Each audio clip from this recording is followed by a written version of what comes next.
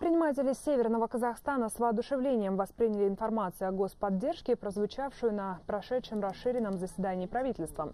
Напомню, президент страны поручил утвердить до конца года единую программу развития бизнеса.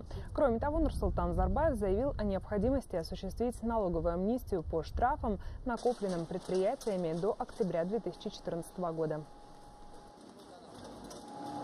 Новость о том, что э, будет увеличен объем э, средств, выделяемых для поддержки бизнеса. Это здорово, это в целом очень положительно сказывается на всей инфраструктуре региона, на э, объеме производимой продукции, на количестве рабочих мест э, в регионе и, э, естественно, на расширение э, бизнеса.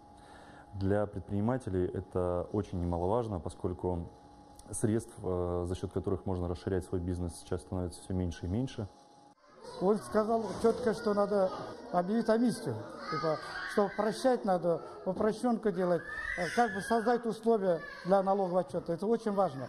Во-вторых, э, услышал, что с, э, с национального фонда будет выделя, выделяться огромная сумма для поддержки малого и среднего бизнеса. Я вот недавно отметил тоже, без, без поддержки государства нам развить средний, малый, средний бизнес это бесполезно.